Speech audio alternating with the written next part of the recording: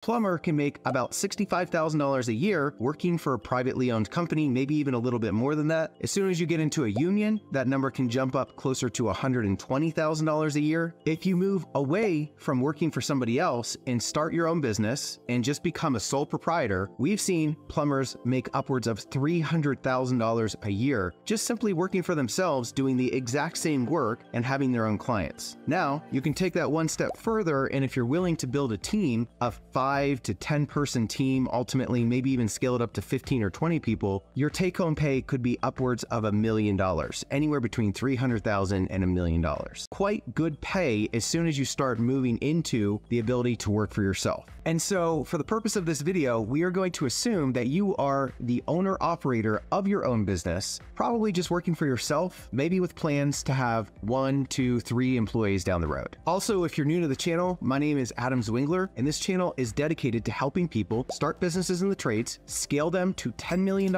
in annual revenue over the course of a 10 year period.